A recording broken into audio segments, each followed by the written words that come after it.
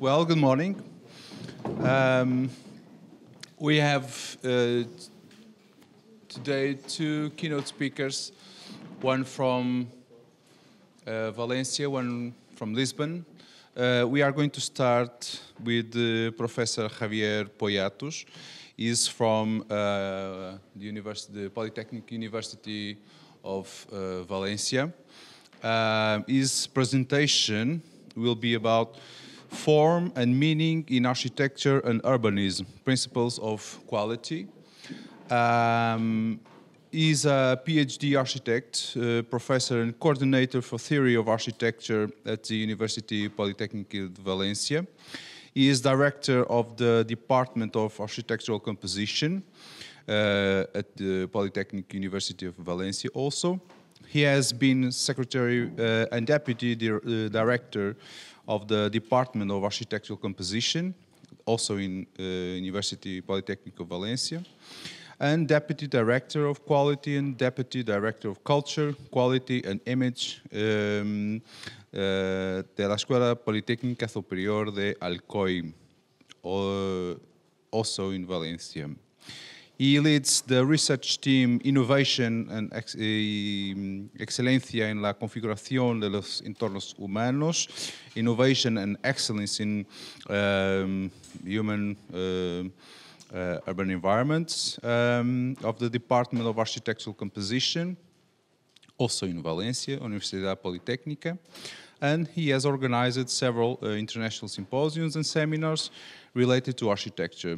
He has uh, publications on theory and criticism of architecture and the city, uh, and uh, he also designed um, some uh, reference buildings as the office of um, Banesto Bank and Commercial Gallery uh, Georges both in Valencia. Uh, I really would like to thank, in the name of the organization, for you to be here and later on for uh, Professor Beirão also. Um, as you already know, there will be um, 40 minutes session uh, after uh, Professor Beirão with another 40 minutes and then 20 minutes for discussion. I hope you all have uh, questions for the discussion session. Uh, regarding um, Professor Javier Poyatos, he will do his presentation in English, but uh, during the discussion, uh, I will translate his uh, answers uh, towards your questions because you will answer in uh, Spanish and then I will translate to English, okay? But he, he understands English, so I don't have to translate your questions. I just translate your his answers. Okay? So once again, thank you and be my guest. Thank you. Excuse uh, my English. Thank you for uh, inviting me to this interesting uh, symposium. I feel very honored to speak about uh, architectural form in this beautiful and significant city of Oporto. I would like to reflect on the understanding and experience of form with you. Let's understand form as the exterior sensitive presence of a reality. Then we can speak about form in architecture and urbanism. Aristotle, in his work Metaphysics, distinguished form in natural elements from form in works of art. In works of art, form exists in the human soul before becoming material. Things whose form in the soul are developed artificially, affirms the Greek philosopher. Form for Aristotle, according to Erwin Panofsky, implies in some way Plato idea. Ignacio Gardella expressed owns during his brilliant architectural career. Here I understood that form rises out of idea more than of action, that we must speak of form idea more than form faction. Of quote. From his viewpoint, Alberto Campo Baeza understands architecture as constructed idea. Therefore, form in works of art and in architecture is invented in the soul of the creator. But architectural form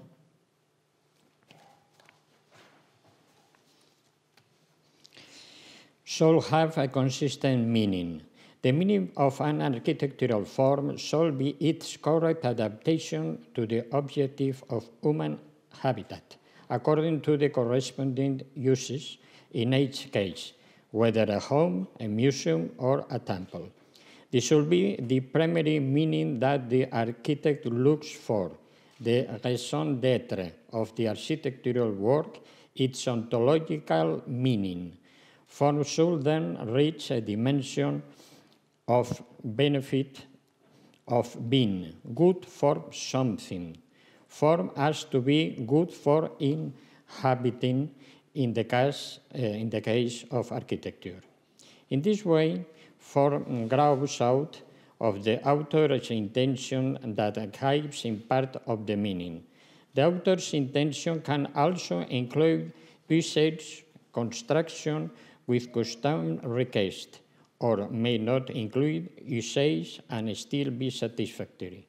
It can also include many more aspects in addition to a strict function. The architect's idea can be very wide-ranging. There is not only one architectural response to the program of use in a building.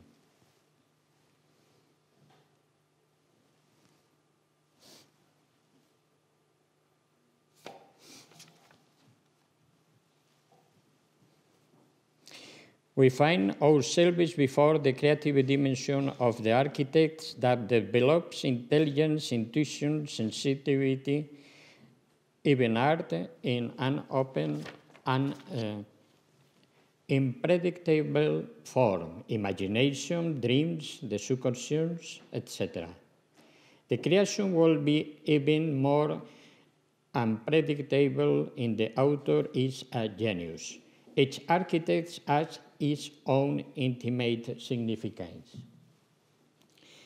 The architect's specific vital, and vital energy and creative flair must be recognized using the expression by Emmanuel Mounier. That is to say, we have to consider the architect's personal response to provocation from the cultural environment and from history. In short, as Ortega y Gasset said, we must observe how the architect takes on his circumstances and gives specific meaning to his architectural forms. The methods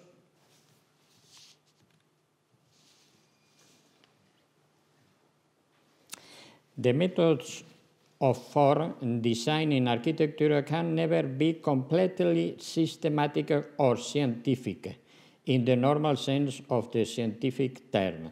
There is an unpredictability in the invented form that comes from the free creativity of the author and complicates definitive systematization of form. Perhaps we are moving to the play into the world of ideas and things, but not deploy enough into the inquiry of the human condition. On the other hand,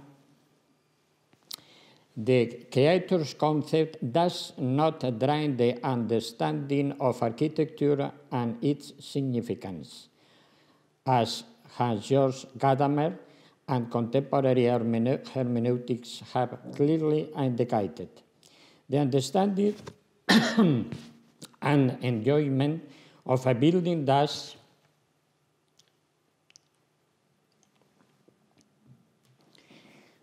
of a building thus not with the intention excuse me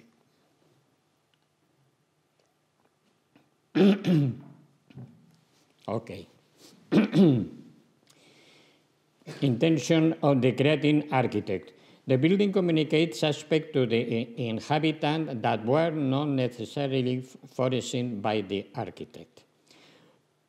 Form does not derive from faction, as its normality understood by the reductionist vein since the modern movement. the eminent psychologist and art uh, theorist Rudolf Arnheim has admirably discussed this for us in his work, The Dynamics of Architectural Form. For example, ancient classic decorum refers to what a building needs to be an appropriate exercise of usage, including the decoration and symbolic dimension. Arnheim has visually summed up several aspects of form that can communicate. Uh, quote, we ask ourselves if such a building really presents the necessary unity to be visually understood. We ask ourselves if its exterior aspect reveals the physical and psychological function for which it was created if it reflects the spirit that inspired it, or soul if it inspired the community. If this, at least the partial expression of the best of the intelligence and imagination of man. Human spirit has the ability to perceive the expressive and symbolic value of forms, and the architect should uh, develop a special sensitivity and intention for this expressive value of forms. In any case, this search quality architectural form is very relevant. The values of quality and excellence that come to us from the ancient Greek civilization must be recovered. quality exists when form success, fully organizes a human situation physically and spatially. When it generates objective and subjective satisfaction in the user, physical and spiritual satisfaction, we should look into the universal basic of human perception that Arnheim indicates. Studies based on certain species of quality are needed we have to investigate the perception of the positive values of the expression of form, studies that are contrasted and even agreed upon among interesting specialists that work on architectural form. Studies on public reaction towards these positive values of expression of form must also be done. The condition the condition that Leon Battista Alberti established for architectural harmony will always be a guide for the perception of quality at form, such continuity that nothing can be added, taken away, or modified without damage.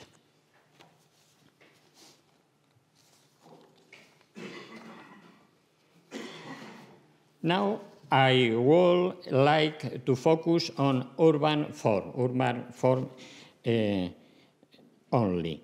It is, com it is common to verify the loss of quality in urban form during the, the 20th and 21st centuries, especially in the current globalization scenario, and in comparison to previous century. And the contrary, in the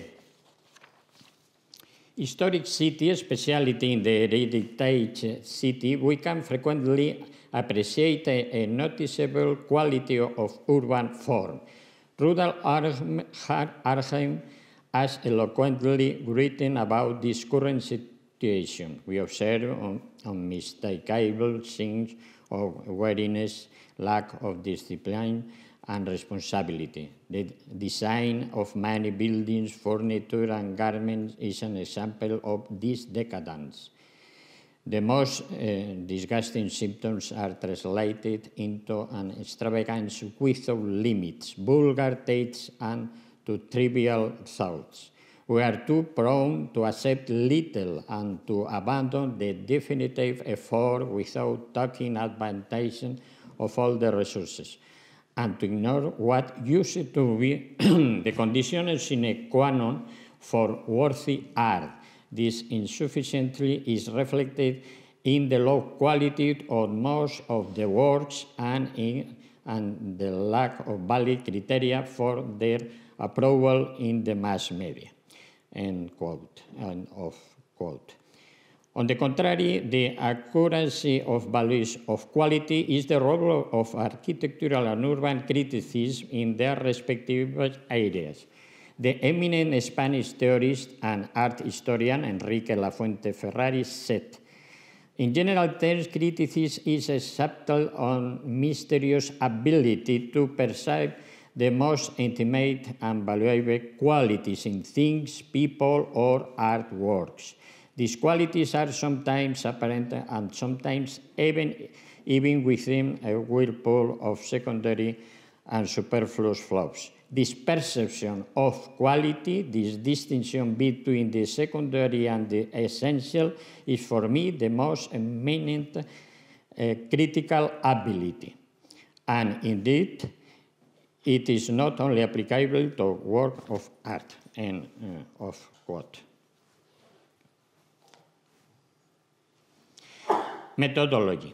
The quality of urban, uh, of urban form developed in the past from a sort of good sense and collective taste, slowly and deliberately preserved, must nowadays be achieved in a conscious and refined way. The collective taste in urban form is not the same anymore due to lack of sensitivity an accelerated pace in urban transformation, the priority of economy profits, etc. We must then develop disciplinary training in this area. Therefore, the research in and in identification of features uh, of quality in urban form is relevant in order to have the corrective tools available in the face of this contemporary cultural loss. For this reason, the identification of these parameters of quality from a hermeneutic point of view is proposed. That is, principles capable of opening a certain horizon of understanding and enjoyment of a specific quality perspective and also horizon of conscious creation. It is understood here that quality in urban form is always connected to the user and to urban life. Form has quality only when it is valuable functionality and aesthetically to the integrated experience of the user.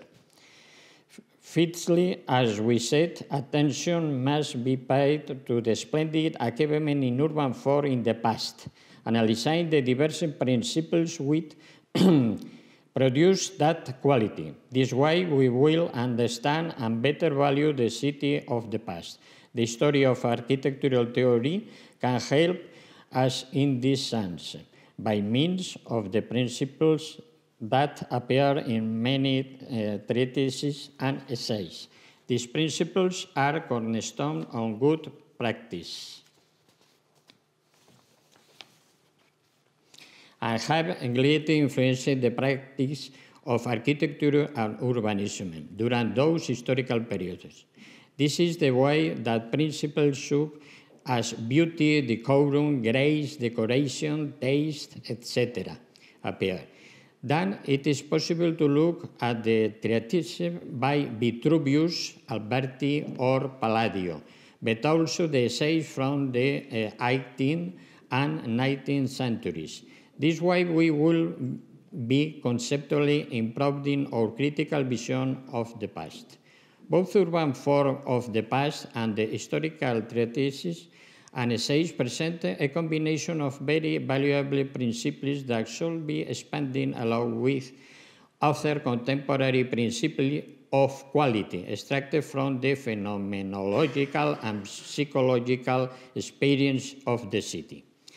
If we go in depth info analysis and meditation, as Ortega Gasset said, of those principles of quality in urban form, beauty, elegance, decorum, etc., We, we can infer that they also open other several diverse ways in the process of obtaining quality. We can call them uh, sub-principles of quality. For instance, beauty is not singularly unique. On the contrary, it offers a wide range of distinguish, distinguishable options such as harmony, elegance, delicacy, refinement, technical perfection, etc. Therefore, each of these aspects constitutes a sub-principle of Beetle.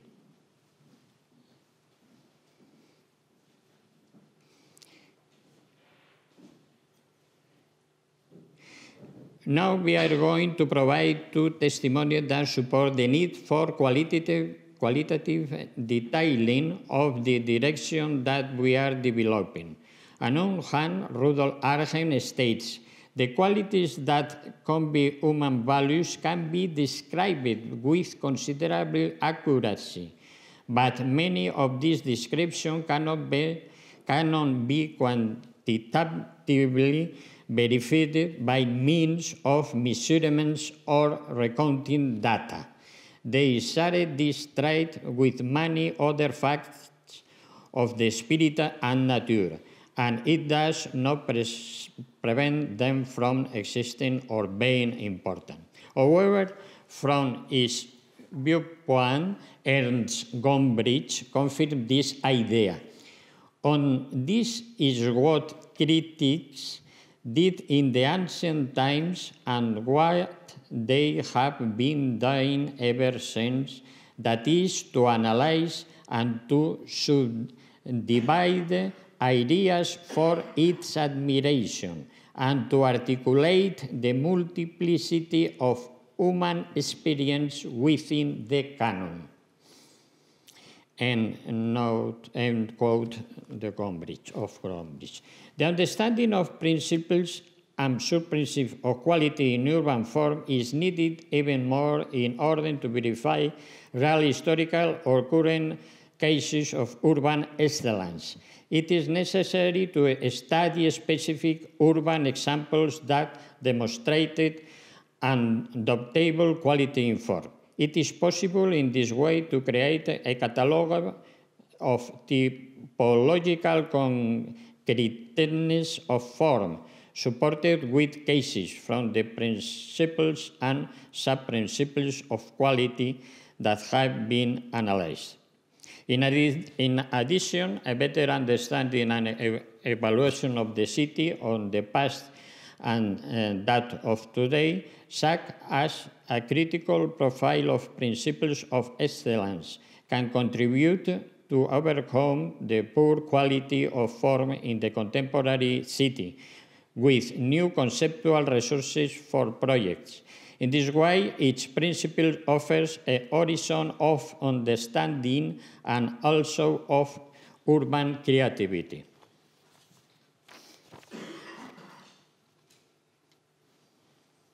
The principles and sub-principles in turn can intersect, offering a cumulative and transverse quality option. Therefore, what this paper hopes to offer is a relevant and structural hermeneutical tool for the analysis of urban form uh, through its values of quality and excellence. This method is related to classical research of urban form. An example is the one performed by Gordon Cullen in the concise landscape or that of Christopher Alexander in a pattern language. These studies try to determine certain principles or concepts of form and their explanation with examples. The, different, the difference with these more general works is that here, in this present, presentation, uh, the goal of these principles is to capture directly and specifically the aspects of quality in urban form. The principles or con concepts are in turn ideal for use as keywords to consciously uh, channel creativity in urban design.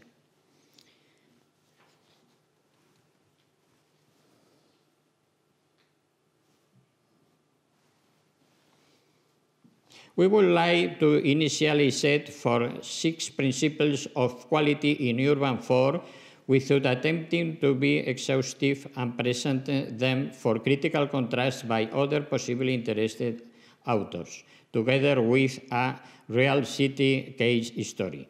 Each principle contributes a type of value that is beneficial in terms of form.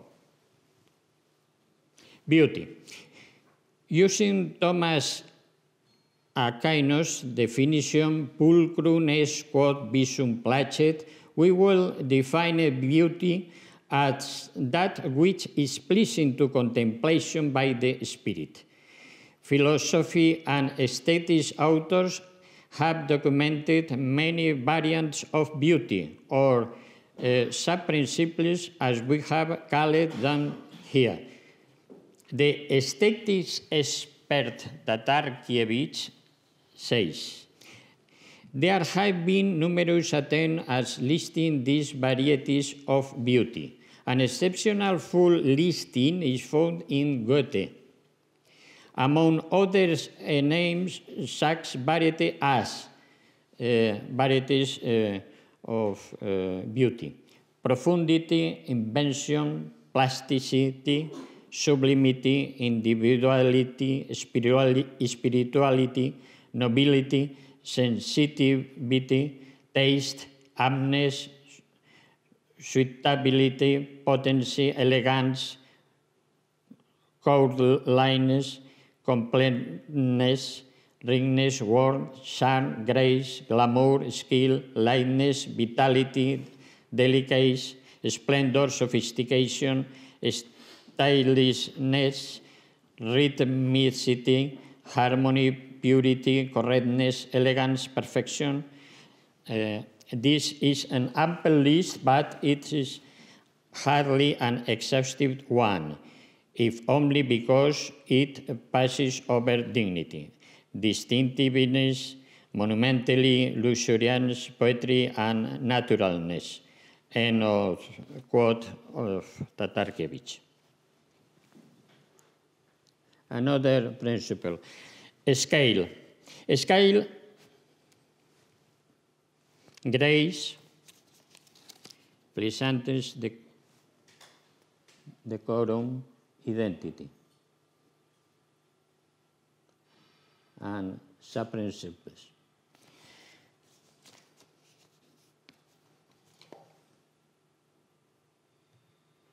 Principle of scale. Scale is the right size of urban form in relation to the inhabitants or users so that is generates a sensation of functional and psychological comfort. Therefore, with the right scale, buildings and urban space can contribute to a sensation of welcome and sensitive dimensioning for citizens. Grace. Grace is the cordial and agreeable aspect of urban form.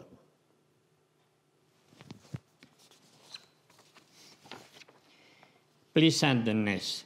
Pleasantness is the exalted and stimulating aspect of urban form.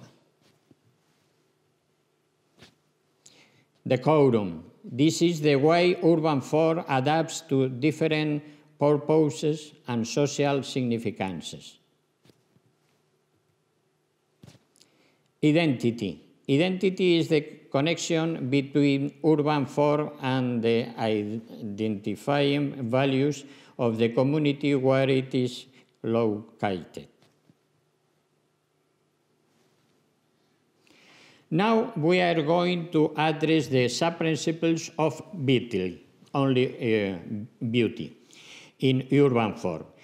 That is the multiple varieties of beauty present in urban form. The principle, the principle of beauty is that which possesses the largest quantity and diversity of sub-principles.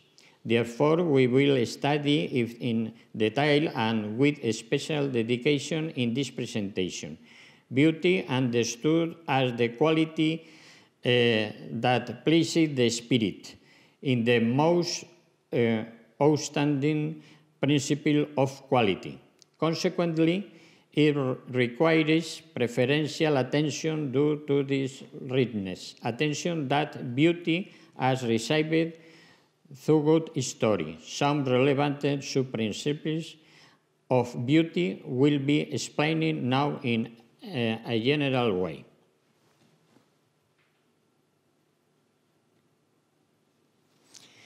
Harmony in buildings. Here we refer to a classical expression in beauty. It is the cohesion of diversity, based in some cases on relations of mathematical proportions, and in others it's simply inspired by taste alone.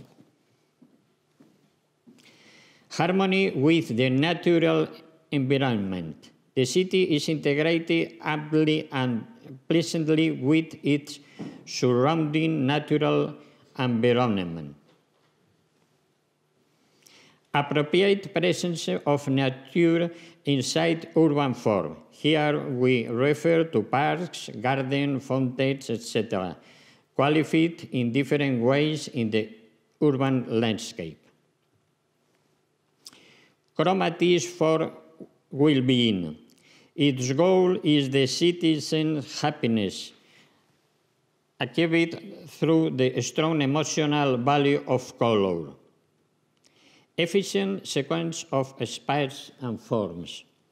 The perception of urban beauty is not only static but also dynamic, since the citizen moves through successive areas of the city. Accomplished essentially. Mere essentially is not enough for beauty. Essentially must be uh, commendable.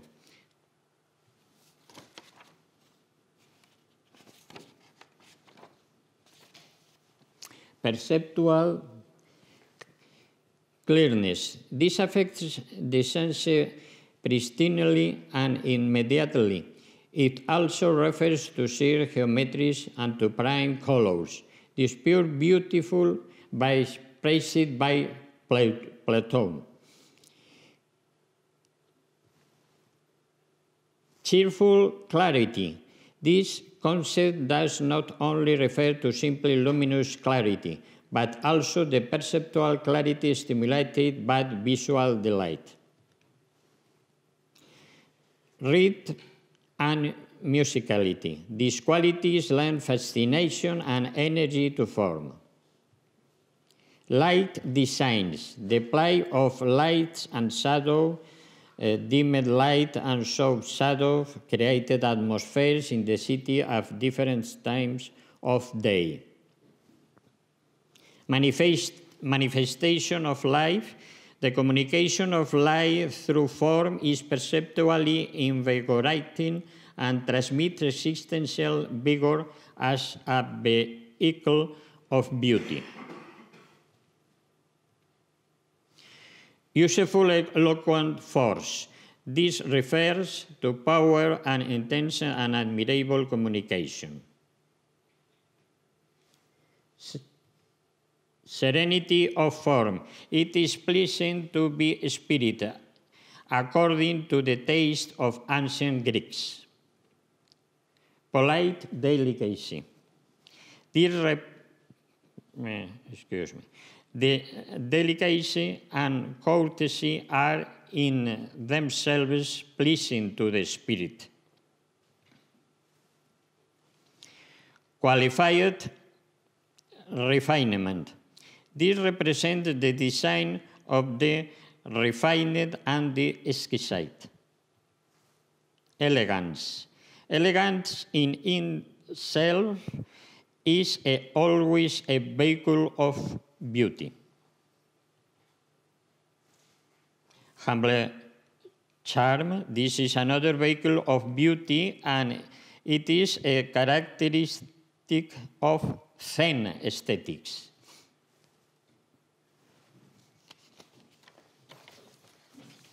Well, of four. These represent the abundance and qualified variety of diverse forms or the appropriate presence of decoration. Freedom and flexibility of form. Freedom and flexibility make forms natural and commendable. Graceful lightness. It is a source of uh, charm. The masterful curve. The curve has emotional repercussions and undoubtedly implies pleasure with it is skillfully executed. Qualified textures. These are a source of interesting sensorial and psychological communication. Technical perfection in construction. This conveys evidence of good implementation and the corresponding experiential satisfaction. Conclusion.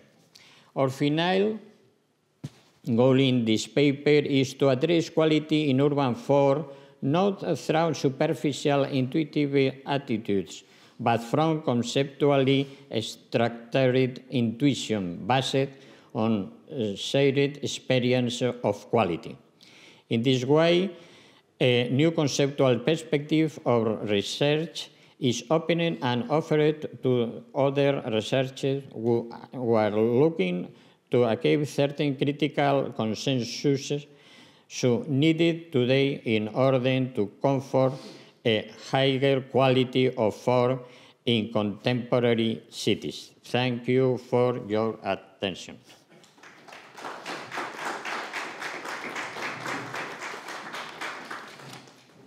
Yesterday I said when uh, Professor Gonçalo Henriques uh, closed his presentation that I said uh, that he was part and he will be part of the symposium. Uh, I can say the same from Professor uh. He's with us from the beginning and is always available to be with us. So we really thank you for your time to be with us and for um, do this path with us also. Um, I will introduce Professor uh, right now. He, he has a degree in um, architecture uh, from the Faculty of Architecture at the University of Lisbon. He worked in several architecture offices between uh, 1988 and 1993. In 1998, he founded the architecture firm uh, B Quadrado Architects together with Miguel Braz. He has a master in urban design uh, at uh, uh, Lisbon Institute University, and a PhD in urban design and computation uh, at uh, TU Delft, Netherlands. In 2012, um, the theme of his dissertation um, is the development of design patterns for um, developing computational uh, tools for urban design. In his thesis, City Maker, Designing for Urban Design Grammars, the acronym CIM uh, stands for City Information Modeling, stressing the emphasis of information support in urban design. His current research interests focus on the use of parametric systems and a geographic database to investigate the following topics. Measuring parameters of urbanity and morphological studies, development uh, of urban design evolutionary systems, uh, customize, uh, customizable uh, systems for social housing, including uh, actions uh, at urban plan level, uh, developing strategies for the Portuguese dispersed territories, future housing, game-based participatory systems, urban analysis, and his um, presentation will be Urban Challenge for Regions to Streets. I really thank you again for you being here. I think that after the presentation of Professor uh, Javier, um, this will be a natural um, continuation from what was presented here before and your work that also focus. One of the things that we said yesterday is about the relation between uh, quality, creativity, and formalization or uh, computation. Thank you again, and my guest. Okay, thank you for the presentation. Thank you, Javier, for your excellent presentation. Um, so I'm going to um, first start my presentation uh, for showing um, uh, some challenges that we have to face nowadays uh, throughout the world. Uh, I will not concentrate specifically on uh, the Portuguese situation, but on things that we find uh, throughout the world. And my idea of focusing on an international level is because tools are not uh, focusing on a particular place. They should be applicable everywhere. Um, so uh, I will start uh, by showing what are these challenges. I will go very fast through that uh, so that I can focus on a few examples of work that we developed uh, at different scales. So I'll start from the regional scale and go uh, towards the street scale, uh, so at different levels of, of understanding. so what are these contemporary challenges? Uh, we nowadays have different uh, uh, paradigms. the um, territories, territories are changing on a global level. Um, we have extreme economic uh, pressure, uh, real estate speculation, um, a lot of problems between uh, wealth and, and poverty. Most of the dynamics of countries, especially developing uh, countries, are based on uh, this tension between wealth and, po and poverty. Uh, on the other hand, the uh, population growth brings us a consciousness uh, on ecological and, and sustainable uh, goals. So the ideas of producing green cities, sustainable cities, smart cities are at, at, the moment a main focus and also the fact that we have different types of social, uh, cultural, regional problems uh, um, on uh, the, the, different uh, uh, parts of, of the world. So uh, Asia, Africa, America, and, and Europe have totally different contexts. Um, I'm also going to look at these on the perspective of the consequences of information technology, uh, what the digital uh, revolution means, uh, essentially the fact that uh, we now live in a global world where we have information about uh, almost everything uh, and, and we can use that data. we have real-time data, we, we have data about almost everything, um, but also the fact that we're connected. We're uh, part of uh, a single world. Um, so now I'm going to show a little bit what's happening, just to show the differences on uh, what's happening in the different parts of the world. So uh, what we can see in North America is basically uh, problems related with sprawl repair because they produced a lot of uh, sprawl in their cities throughout the modern eras. And um, they also have shrinking cities. Um, the problems are usually related with low dense uh, territories. The high density only occurs on city centers, uh, where there is a lot of uh, uh economic uh, pressure, and most of the growth is essentially planned. So, the fact that things are planned, they can have some degree of control over the situations. These are examples taken from Detroit, and this is the type of urban sprawl that we find um, uh, in, in America. In South America, we have fast growth, uh, a lot of unplanned situations, also fast growth with planned situations, uh, high density in most of the situations, especially in the unplanned, uh, a lot of economic pressure for the uh, uh, planned situations, there's also some need for uh, sprawl repair uh, in uh, the outside areas where there's still some low density. These are the type of images that we find related with these problems.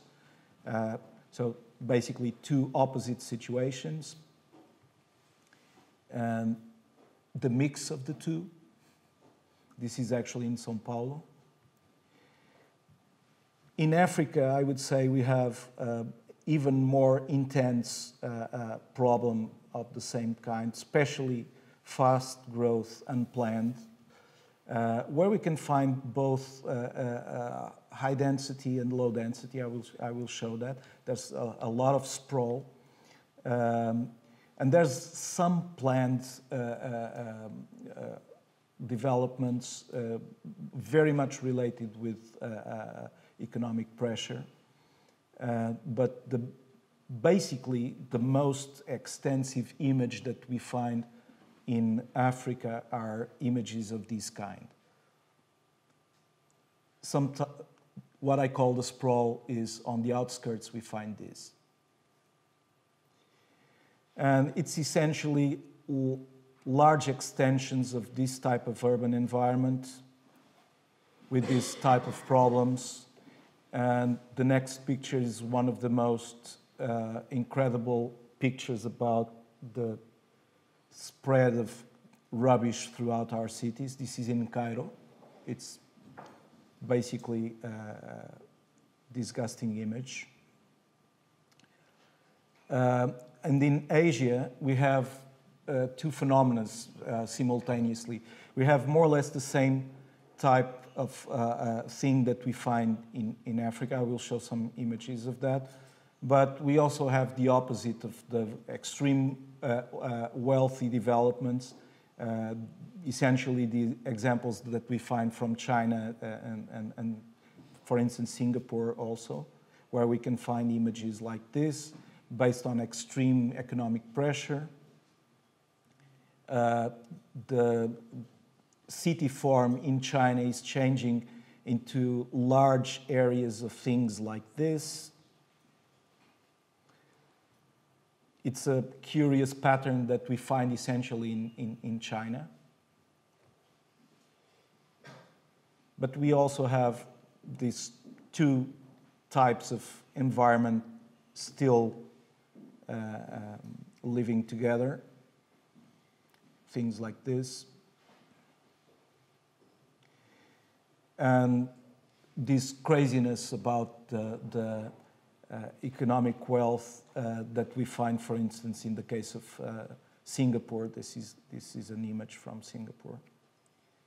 Um, and then we also have the other types of, uh, uh, uh, let's say, unplanned, fast growth, especially in India, Bangladesh, we find images like this. This one is uh, from uh, um, Mumbai, and again from Mumbai. Mumbai is the, one of the most dense cities in the world. In Europe, we have uh, totally different types of uh, problems. We have uh, essentially uh, historical cores needing uh, urban rehabilitation, but they're also under uh, extreme economic pressure. Uh, so it, it becomes a difficult uh, task. But there's this idea of a very important heritage that needs to be preserved. Um, we also have shrinking cities and the need for sprawl repair, extreme dispersed territories. Um, these are images that we can find in Europe. Um, and I have, regarding dispersion, I have two images taken from Portugal where we have this kind of uh, disper dispersion of the territory. Very low density, uh, uh, very uh, um, extended uh, network uh, of of houses uh, on a territory that loses its agricultural uh, functionality and is not e exactly urban, uh, um, let's say a town or a city as we know it, although it's urbanized territory. So uh, what tools and what methods can we use to uh, deal with this uh, type of problems? um, I've been working on the concept of city information modeling, which is basically connecting information and, uh, um, and dealing with that information, generating plans and uh, uh, simulating uh, uh, uh, ideas or solutions, calculating indicators in, in, in real time.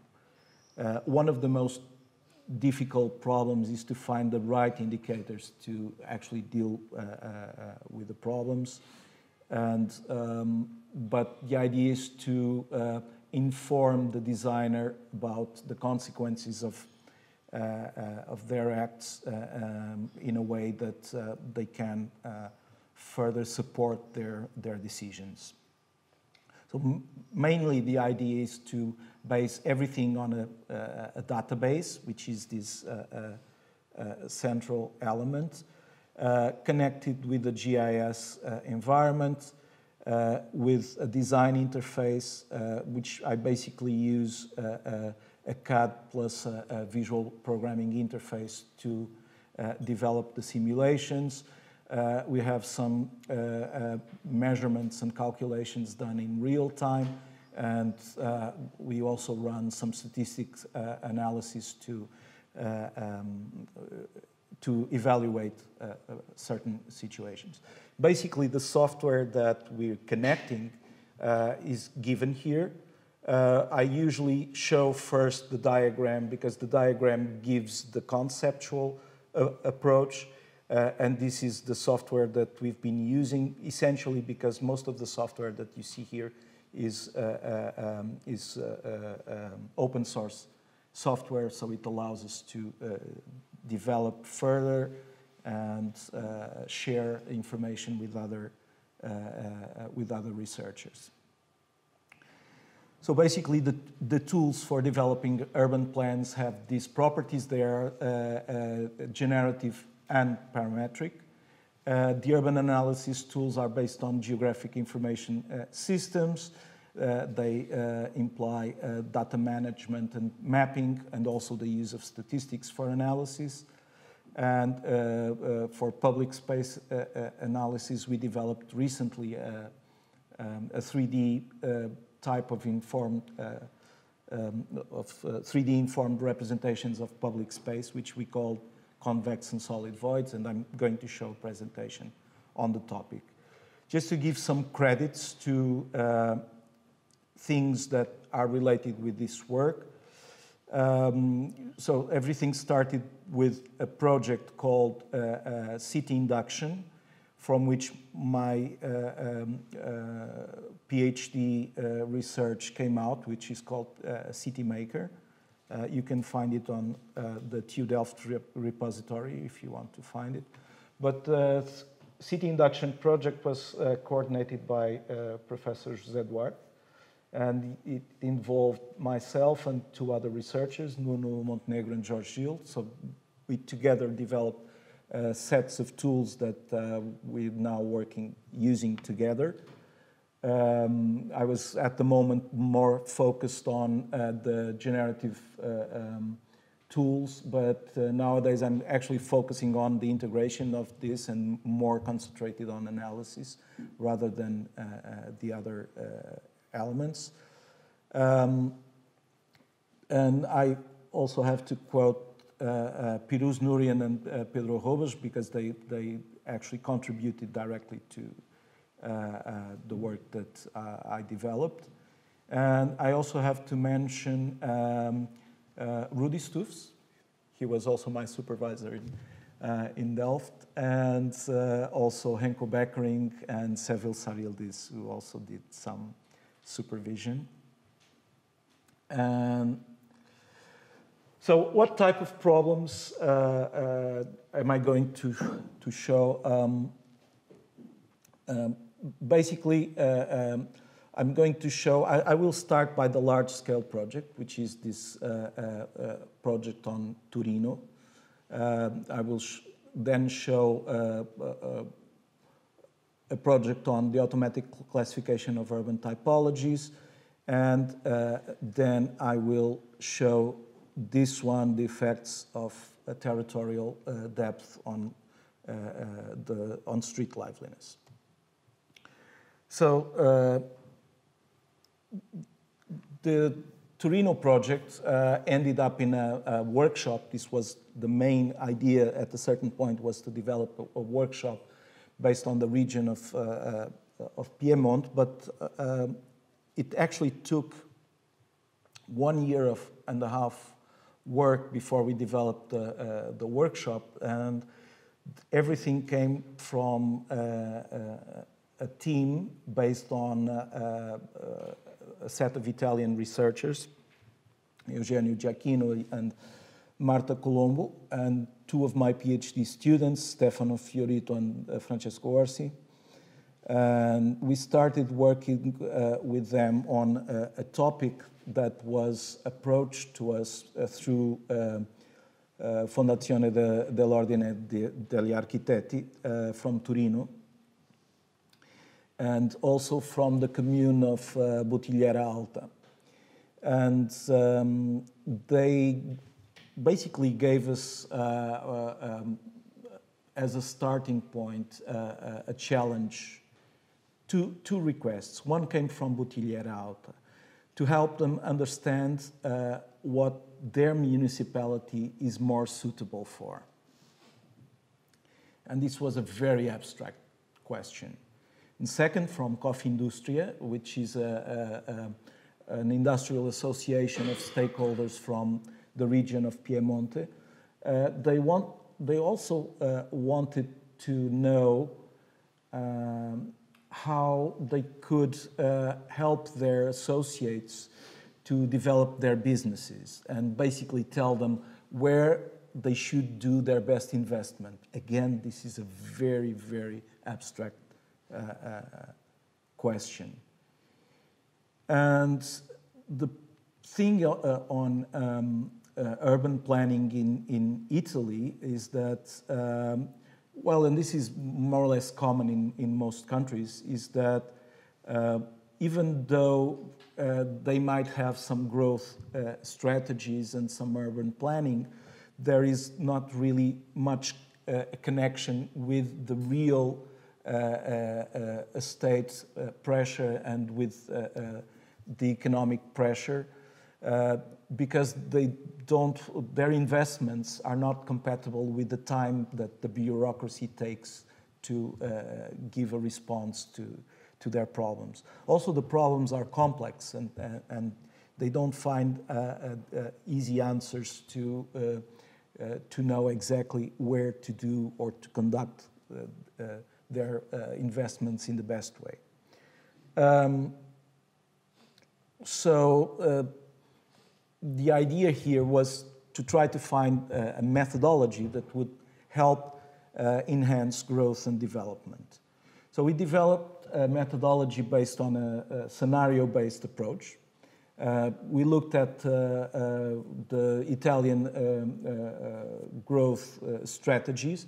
They had guidelines for development, but we wanted to find um, scenarios based on those guidelines. So for each scenario, we had to define a set of indicators, run an analysis according to the indicators, and create a regional suitability index. I will go into detail further on. Uh, for each scenario, we had to evaluate the feasibility according to the urban policy. So we had to study the existing uh, urban policy. Uh, also to uh, uh evaluate uh, uh, the feasibility according to particular investments in specific places. we worked on the region of Piemonte, so we worked first at the regional scale, then at the municipal scale. So the, key, the case study is basically this region, which is developed, uh, subdivided in, in, uh, uh, uh, in this set of subregions and in this much amount of municipalities. These are uh, uh, a thousand, close to a thousand municipalities that they have in, the, in this region. So municipalities in Italy are smaller than the, the municipalities in, in Portugal, but still larger than the, what we call freguesias. We defined several, several scenarios. The scenarios were based on uh, uh, the Italian uh, uh, uh policy, development policies.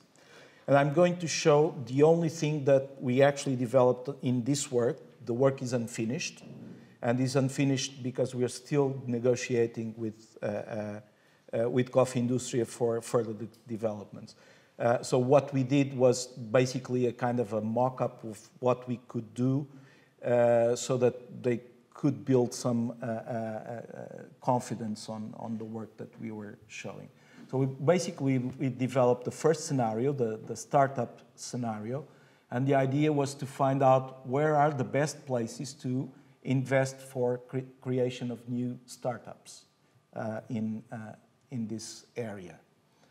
And so we had to do a lot of research, uh, research on uh, demographic information, uh, find representations of the place, get, gather uh, a lot of data.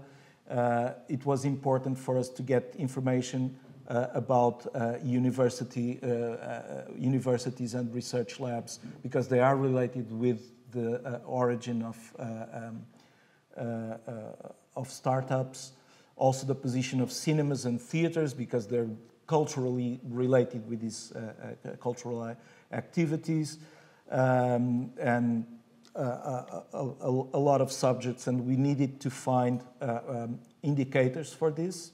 So for the start, startup scenario, we developed this literature review.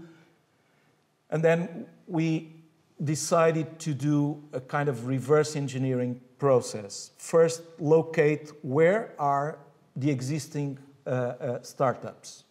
So we first located that, those. We defined the indicators. Uh, the, these indicators uh, came out of a lot of work that we did on uh, literature, uh, but then we basically condensed all that information into these indicators that we point here, and the, the indicators were spatialized uh, related with uh, uh, a connectivity through a 30 minute, uh, minute uh, uh, walk or 30 kilometer drive. and we would check two types of connect, connectivity, so pro proximity to the, um, um, to the activities that we were considering. So we used the buffer system the buffer is essentially uh, uh, uh, a radius taken from the building, uh, the, the, the, building of the municipality. Uh, and the idea of using this, uh, um, this as center is because the municipality is us usually positioned in the most important central place in each municipality. Um, and basically, we count elements uh, for each uh, um, indicator within this buffer uh, zone. Uh, we also developed this idea using uh, the, the, um, the, network distance, but it would become uh, computationally too heavy. So we basically stood with, with the buffer analysis and used just the the buffer analysis. Uh, so we calculated uh, all the buffers, calculated all the indicators, and, and then we did some uh, benchmark and, and correlation of, of, the indicators. The benchmark was basically to do a scoring of, uh, uh, of these, uh, um, of these um, indicators. So this is basically the criteria that we used for, uh, for scoring. Um, this is just an example. And we calculated the full index by summing all uh, uh, the scores that we got for, uh, from uh, the indicators. Um, then, using the correlation, and the correlation is essentially a, a, a, a Pearson's correlation uh, coefficient, we multiplied the, the, the, um, the values of, uh, uh, first we selected the most important uh, um, uh, indicators. We didn't use all the indicators, only the, the ones that uh, had a certain value, uh, so above a certain value. And then we multiplied the value by the, the, the value that we got from the correlation. So it's, we call this uh, an adjusted index, so the, or a weighted index that was uh, uh, uh, Uh, uh, uh, calculated. Then we map this information. This is the mapping of the full index, and this is the adjusted index. And then we did the same at a local scale, and this is just the province of uh, uh, Torino. Again, the full index, and Buttigliera is this area here. Uh, and this is the adjusted index. So the idea would be to run all the scenarios, get the same uh, calculations, and then at this point, we get a total ranking of scenarios per municipality at region scale. We get the deviation of each municipality for each scenario uh, um, and uh, um, the deviation from its best suitability index. So we know how distant each scenario is from the best one. And now we can simulate changes. And changes that can uh, affect each of the indicators and check how much effort is uh, taken to reach the, the, the best ranking for each scenario. So in this way, we could evaluate which would be, let's say, the most reasonable investment to be done in each area. Uh, the important thing here is to understand that uh, the, although we didn't finish everything, so I don't have conclusions to show you, but uh, we are actually applying that with uh, uh, Daniel Cardoso to, uh, in, um, in a case in um, uh, Fortaleza. It's, we're using this, the same methodology. Um, but the important thing here is that it's a way of using existing information about activities and to find, uh, um, let's say, a, a, way to measure the effort uh, uh, to do certain types of uh, um, interventions that are taken as scenarios.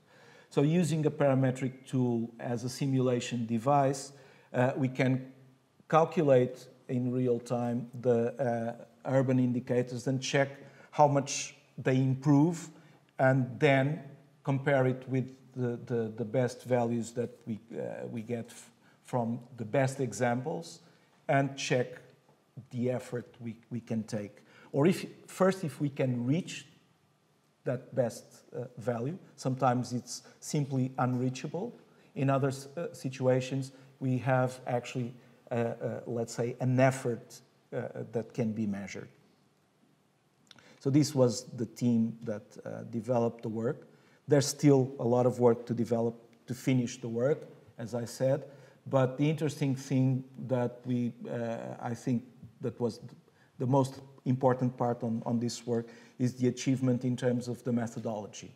And of course, we want to apply it furthermore. There's this example on Fortaleza, and I showed this presentation uh, at Penn State University one month ago, and they're also interested in applying that in State College in the United States. So uh, hopefully we will test this furthermore. Um, how much time do I have? Uh, 10. 10, okay. So uh, the next uh, example is on um, the automated classification of urban typologies. Uh, this is uh, published on, on the paper that is referenced in this slide. And it's actually one of the papers that uh, has had more has been more referenced by people. And basically, we wanted to develop a, a kind of uh, urban morphology uh, method that was uh, based on, um, um, uh, on a semi-automated procedure. And we used two uh, neighborhoods in Lisbon, Moscavide and uh, the Expo area from 98, the north area actually.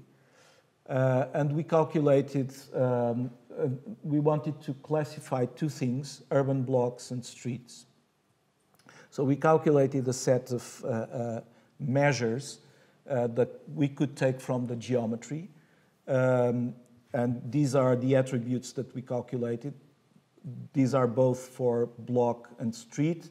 These are just exclusive of uh, uh, block. And these are attributes that were calculated uh, uh, from street. Um, these are all the, the, the codes that uh, we use to mark them. So basically, we did a lot of maps of, uh, uh, of, these, uh, um, of these attributes.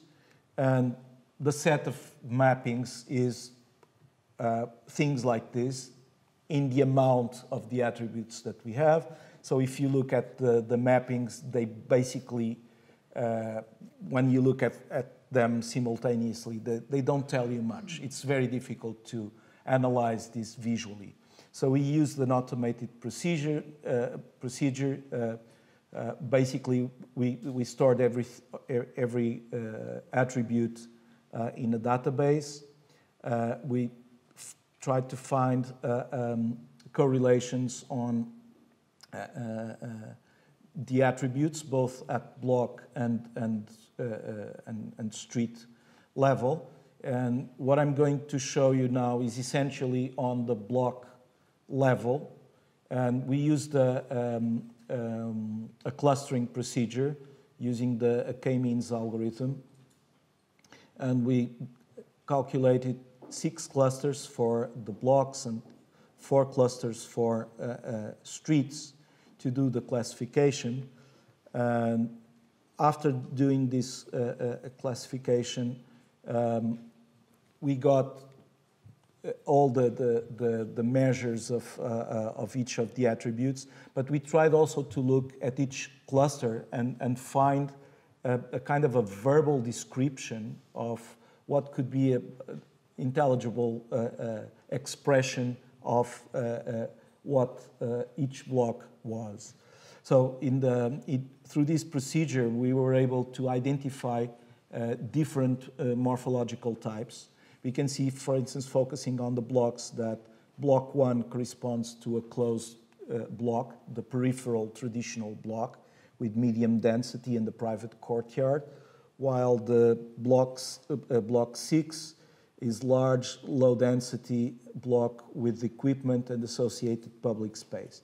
And if we come here, we will see that block cluster one corresponds to these, and we find them only in the Mus Moscavide area, while the other one, which corresponds to this one and this, we find it only in the Expo area. And all the others are intermediate expressions, but we could describe them quite precisely in a single sentence, and the automated procedure was uh, obviously capable of, uh, uh, of uh, highlighting these situations. Of course, after doing the clustering, we had values for each of these, uh, uh, each of these attributes. The interesting thing about having the values of the attributes is because we wanted to use these values to do uh, what we call generative patterns. So use the values to generate new patterns of the same kind using uh, uh, the, uh, uh, the values that we got. And we had a, a maximum and, and uh, minimum uh, value for each of, uh, uh, of the attributes. So it was very easy to define the limits of each of each cluster, of each type that we found. Then we also did some analysis to find out uh, what were the occurrences of uh, each of the blocks in, uh, in the two areas to try to understand the, the, let's say, the character of each of the neighborhoods um, and through the, uh, the presence of the different types of blocks in uh, the two neighborhoods, we uh, would get different results. So the methodology allows to identify urban morpholo morphological types, uh, by searching for similarities uh, uh, within the data. So clusters correspond to typological similarities. Similarities are given, are given um, based on um, morphological uh, par parameters. So it's a, a, an urban morphology uh, methodology. And the results can provide ranges uh, for um, uh, defining uh, typical values of, uh, um, of these types and to define actually what the archetype is.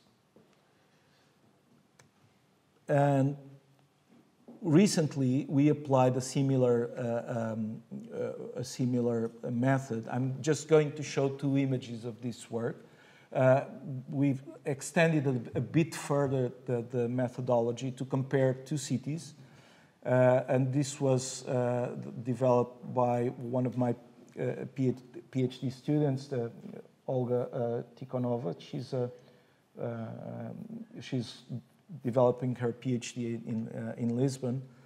And she wanted to compare the two cities. She had at the beginning the idea that there were uh, some similarities between the cities of Lviv and Elvas, uh, which are extremely far away from each other.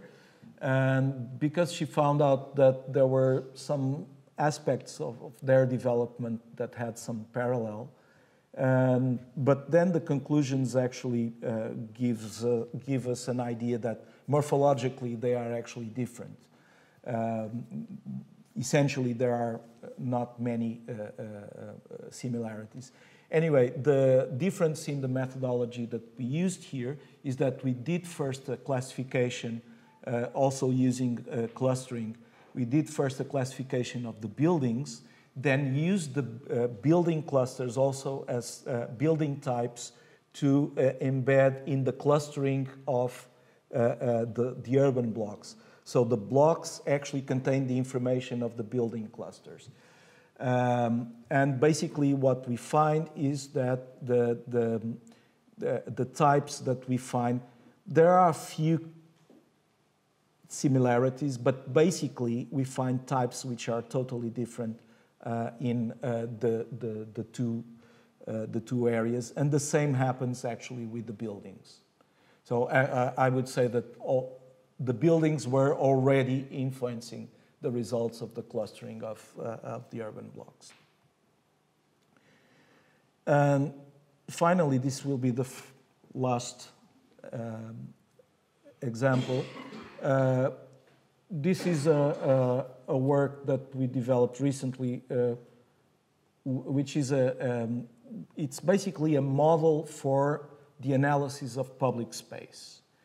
And uh, it all started with uh, uh, a criticism to the, the representation of, of public space, especially the space syntax representation doesn't include three-dimensional information.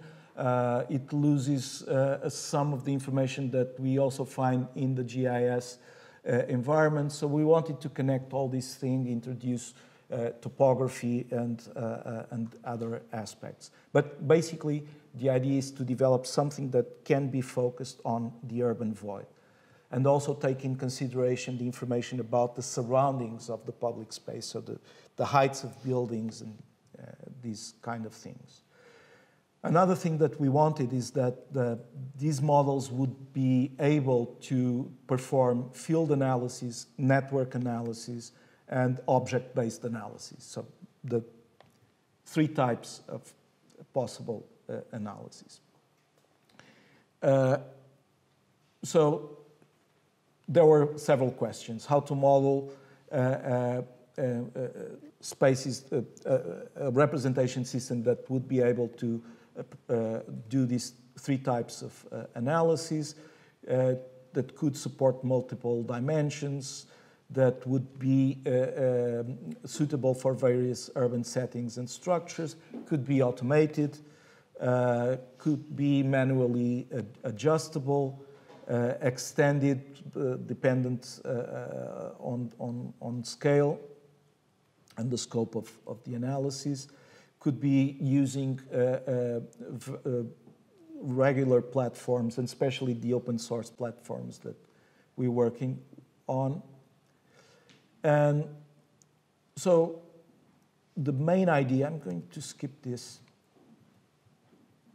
The main idea was to find something that uh, could uh, uh, develop, start from the, the, the, the, the idea of convex space, but already the generation of convex spaces was a problem.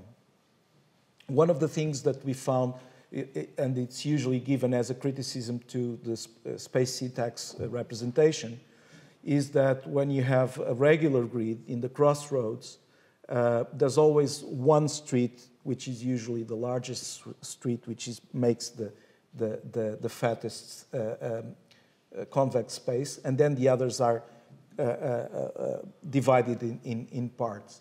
And we actually lose the information about the continuity of the streets that cross the main streets. so on one, one hand, it is capable of uh, capturing which are the main streets, but we lose the information about the secondary ones. So we wanted actually to, uh, the model to be able to uh, keep that information, what the crossroad is and, and things like that. Uh, we wanted to, we started the work using a, a, a, large model, but the computational time was uh, giving a lot of problems. Uh, we had to wait a lot, so we developed a kind of a, um, let's say, um, hypothetical uh, environment uh, which contained all the, uh, the main theoretical problems that we needed to face. It contained the topography, walls dividing different levels, uh, closed places, which are private places, uh, buildings with courtyards, uh, obstacles in the middle of the public space but allow view through it, uh, covered public space like this, and we wanted to deal with all these types of limits, including the heights of the buildings. And then we wanted to design some kind of convex space. And we did, we first did it by hand, what we thought would be a, let's say, correct representation uh, uh, of that space. But then, of course, we wanted to uh, uh do it automatically. And we thought that we should start from the topographic points and uh, probably we should first do a triangulation because triangles are already uh, convex spaces.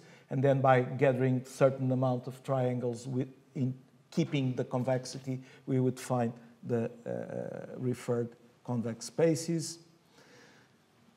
Uh, we, were, we had to deal with basically different levels of abstraction. So we want to reach convex space, then there was a, a lowest a lower uh, uh, level of abstraction, triangle, edges, vertices, and then locations. So we would start from the locations in the GIS uh, uh, information, which would give us actually also topographic heights, and then uh, we would find out vertices, the vertices would define edges, and so on. So basically, this is a sequence of so starting from the points. Uh, the second uh, uh, uh, procedure of the second algorithm basically excludes the inner private areas. So that's what happens here. Then it uses the locations in the outside spaces, so the public spaces. It generates a triangulation using uh, uh, um, uh, a Delaunay triangulation algorithm. And the thing is that the locations actually distinguish the points above from a point below. And so this was a, a part uh, of an, algor an, algorithm that we needed to add to the, to the procedure to distinguish coincident points, uh, uh but with different uh, elevation. And then the idea was to uh, merge a lot of these uh, uh, triangles into the um, into a um, into a more simplified representation. So we had to select some the, the important vertices on the limits of the representation, especially due to these situations where you have an obstacle like a, a, lake or a, a, pool or fountain that allows view but doesn't allow passing. Another thing was to define how to capture the height of the building and to use the influence of the height of the building. Um, so this is used as a projection of the facade into uh, uh, the, the public space which in some cases generates new vertices which are important for the calculations. And then the, uh, the new alg this algorithm generates the, the, the, a new triangulation and, and, and a new um, merge of, of the triangles into convex spaces. Then the, we had a problem with the, uh, developing the algorithm to, uh, to do the convex, uh, uh, uh the convexity of um, uh, the merging of, of the triangles. the situation we have in, in the space syntax um, theory is that we find, try to find as a level of superior, superiority the fattest space and the definition of the fattest space generates a type of representation, but we found that we could use other types of, uh, uh, of superior, superiority levels uh, to, um, to define uh, the aggregation of triangles. One of the things, one of the other possibilities, so fatness would give us this representation where we still have uh, the, the street without representation of the, the, the, the, crossings. So we wanted to have this more this type of approach. So we used also compactness and this situation of using fatness and compactness would produce this situation and squareness would produce something very close to what we wanted. Actually, in the, final, the, the, the algorithms that we have, have these as options. So it is possible to generate all these types of representations, depending on the type of model that uh, we need for the analysis. So basically wanted, we wanted to test uh, uh, this, if this could re represent the, um, uh, could allow the different types of analysis, so the, the field analysis, network analysis, and the object-based analysis. And the first thing we did was already, um, uh, so at this point we had a convex space representation which has convex spaces, but they are tilted with information of, uh, uh, uh, uh regarding the, the topography. They have information about all the previous levels, so each uh, convex space contains information about which triangles they, they are built of, which edges each triangle is built of, uh, uh, and, and, so on, which vertices and the heights of the vertices, and also the information about the boundary the area, so the heights of buildings, the facades, etc. So all this information plus GIS information is also added to the model. Everything is contained uh, in the model. That's why we called it 3D informed convex spaces.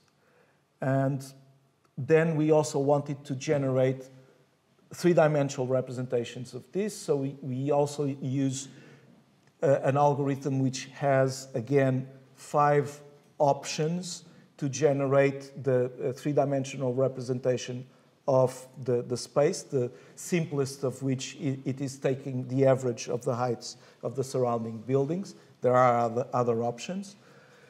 And then we also did, based on uh, uh, connectivity of the, uh, and we called these 3D representations, we call them convex voids.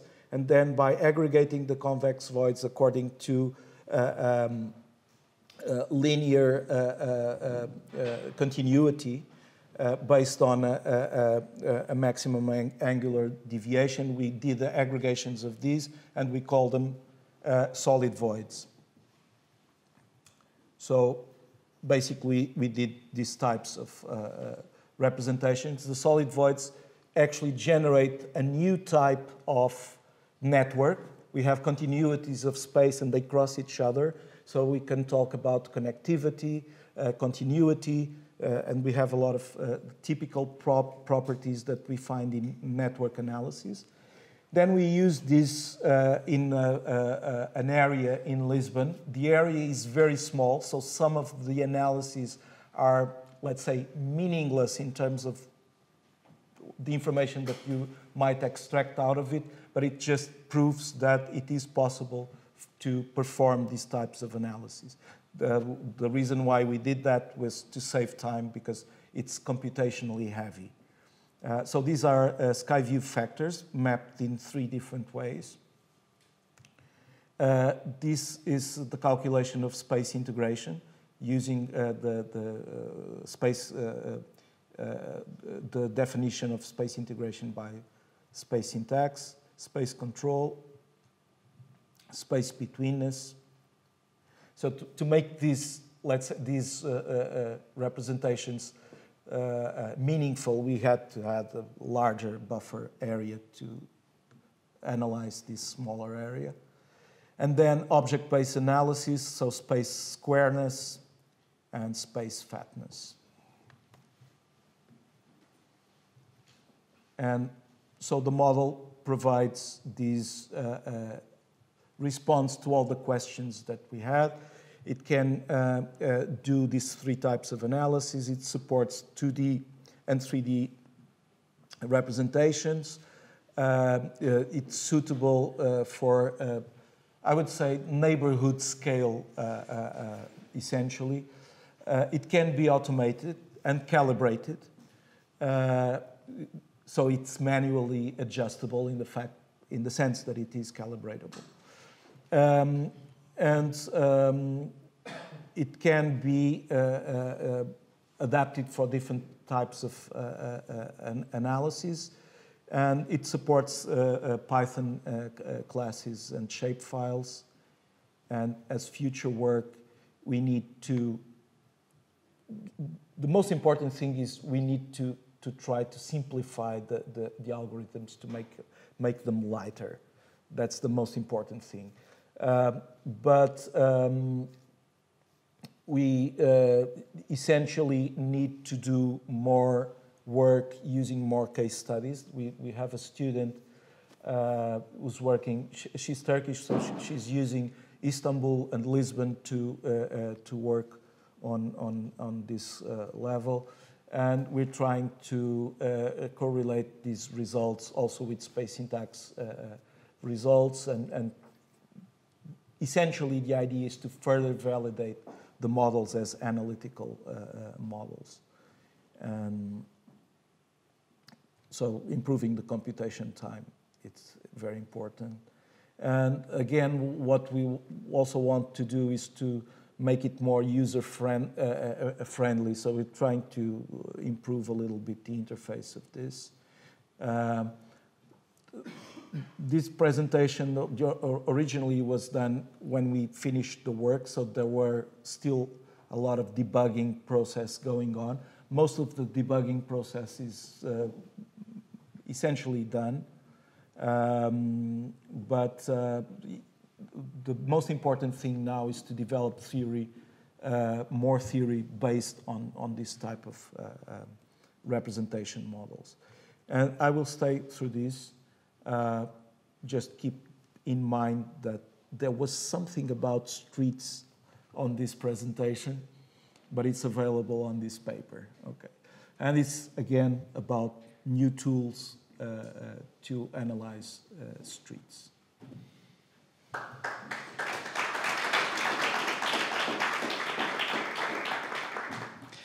So thank you for the presentations. I really enjoyed both, but my question is really for Nuno Beirão. Um, I have two questions. Um, maybe you, you, you say that, but are you, are you thinking in the future to linking this uh, 3D format convex space, this software with QGIS, or? It's already linked. It's already linked? It's already, uh, actually, the, the, convex space generation is, um, uh, is developed uh, on, um, uh, on GIS on uh, QGIS. But is it a plugin already? It is a plugin for QGIS. What is the name? Is this name? Uh, we, are not sharing it. Uh, oh, it's okay. yet, because we, there are a few things that we still need to do. We, we, we want to, to, to make it faster, and, uh, and it's dependent on um, uh, triangulation algorithms. So the uh, installation is a little bit cumbersome.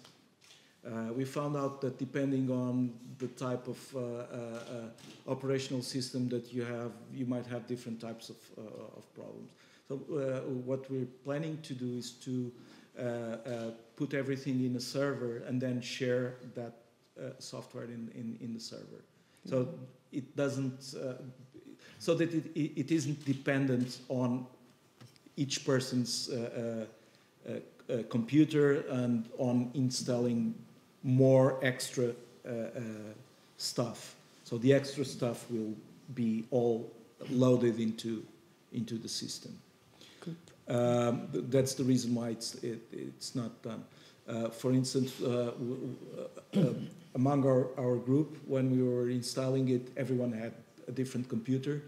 And uh, in my case, I had to install three more alg uh, algorithms than any other uh, of any of the other guys in, in, in the group.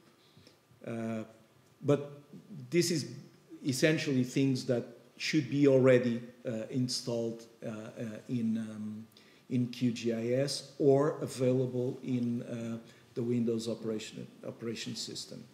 Uh, I think it's compatible with uh, um, uh, with Mac users. We didn't find any problem with Mac users. Uh, but there are also differences in terms of the installation, mm-hmm. again, dependent on the computer. So that's the reason why it's not shared that openly, yes. because uh, at a certain point we, uh, we defined the, a Google Doc with all the instructions for installation. And every time we find a problem, we added a, a new instruction. Now it has 12 pages. Uh, so it becomes unmanageable. Uh, the idea is to make it uh, stable enough so that everyone can install it and there's no problem. So we will be waiting. so yeah. Anyway, if you want to work with it, we can do Good. the installation Excellent. for you. That's no problem. Thank you. Thank you. So I have another question, if, if I may. Um, the, the, example from Italy, when you, I like especially this this phrase when you say that design and, and design an urban plan. Mm-hmm. And then you have a, call it in the small, but it's meta meta design. Yeah. So uh, what will be the, the, the, the nature of, it will be more a scenario that you can change. This is the most part more, more interesting. But how, how, how about the implementation? What, uh, how the local authorities could keeping working with this tool, uh, this scenario? Uh, this is this change the nature of the planning itself, the plans, the the meta plan that you, you yeah. Um, we, we, didn't finish totally the part. Uh, we did one example for the workshop. On the workshop, we had a, a, um, a, a grasshopper-based uh, simulation system and with the calculations, but it was very much prepared for the situation that we were showing in the workshop. It was a one-day workshop, so it's the kind of thing that we need to prepare everything very well, show how it works, and not exactly being developing the things with, with the people, because uh, if it's so uh, difficult to install just the software, because it's we're connecting a lot of software with a lot of algorithms that we develop for doing our, our uh, uh work, that uh, uh, it becomes impossible to, to do that in a single day workshop. Mm, yeah. the, the, only thing we can do is show. Um, uh, because it usually takes two or three days just for the installations. Uh, it's not because one installation is not fast. One installation might be relatively fast if everything goes smoothly. Then someone has a problem which takes one hour to solve and another one has a different problem which takes another hour to solve. And if we have 12 people attending the workshop with different problems, we have 12 hours, and it happens every time. So that's the reason why in a single day work workshop we prepare everything, but we just show how it works. Um, anyway, the, uh, the idea uh, of the meta, uh, uh what we call meta design, uh, is uh, something that provides a, a, um, a, a growth in a particular area of a specific morphological type, which is related with the, the, the, properties, the indicators that we want to calculate. Um, so it's very abstract. Uh, I would say it's something open for design in the way we understand design, and especially in the way that Javier was talking about design. It's totally open. It's just a question of amount. Uh, so it's something that is measurable uh, and it should give some idea if we have different, this type of investment in this area and we change these indicators, then we uh, somehow try to approach the best value of what we calculated in other situations as the best performance. Uh, so it's trying to change a reality towards something that might be a best performance in a particular viewpoint. Again, uh, it's still a meta design in the sense it's not a solution. It's uh, a way of capturing an idea of how much uh, uh worth is to put an effort on that type of uh, scenario or not if, if it's even reachable or not. Sometimes it's impossible to reach a certain scenario. We just see a very slight improvement in, uh, uh, in the indicators, uh, while in other uh, uh, situations the improvement might be more expressive. So it's just by comparing how much improvement you get on one scenario comparing with, with another that allows us to say, well, maybe it's better to invest in this scenario than on the other one. Thank you. Uh, good morning. Thank you for the presentations. Uh, one first for Beto. Um, I had a chance to see some of the research you've been doing in your group, uh, but now you've developed even further the idea of the convex voids and, and all the consequences of it.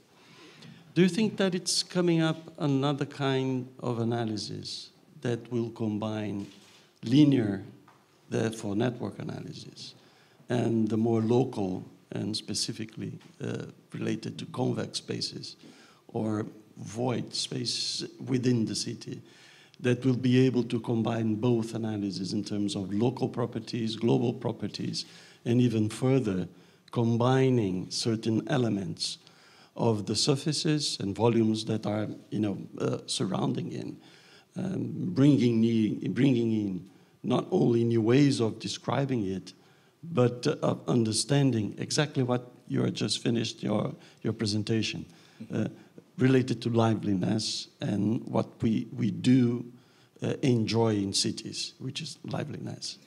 And just jumping to the next question for the first presentation, some of the um, some of the elements and uh, types and subtypes and properties and sub uh, sorry principles and sub principles that you've presented, some of them are very difficult to be described uh, in terms of universal um, understanding.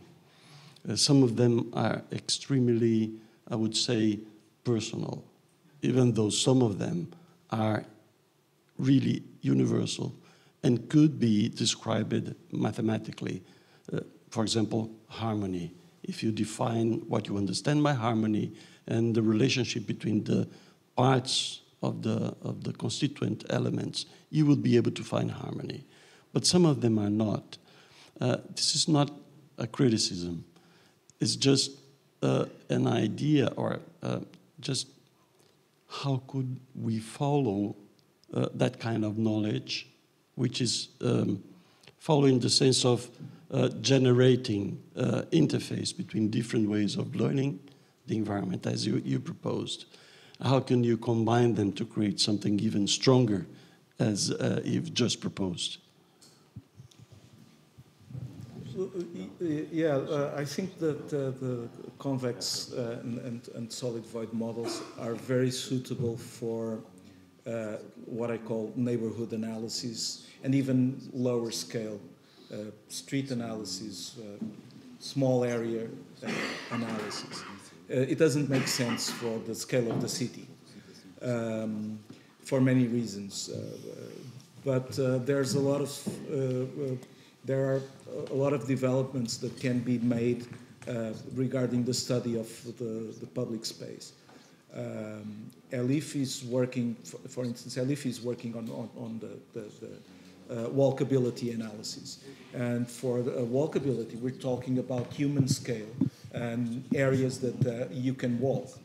Um, so uh, it makes sense to use this information because it already contains information about uh, uh, many aspects of, of the environment in terms of how the environment surrounds you.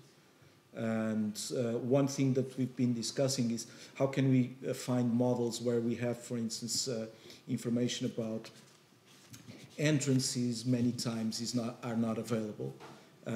but still we've been able to work with entrances. Where entrances are very important. But even windows are important to, for this uh, level of scale. Uh, and it's almost impossible to find models with this information. But uh, one of the things that uh, we find, we, we uh, actually were interested is to find a kind of automated procedure to uh, locate the windows in the model. Elif already did some stuff on that uh, on that level. Uh, using uh, Google um, Google models and, and, and then bringing that information into into the model, but it's not 100% reliable. So, yeah. But of course, at this scale, I, I, think that's what makes sense. It, it's to work at, at this lower level scale, and I think there there is theory to be developed at this level.